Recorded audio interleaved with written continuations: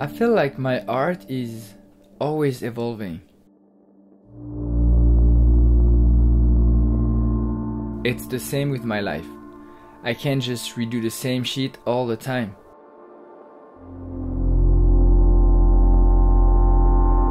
I need to wake up in a different place. I need to see something new.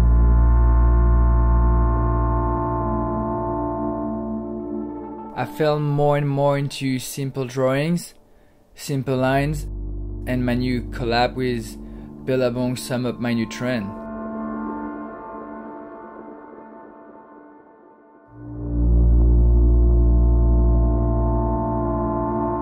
Basically, it's all about how to live with each other in our crazy world. If you look closer to my work, you can see a lot of birds mixed with humans. I felt like a bird but with a human body.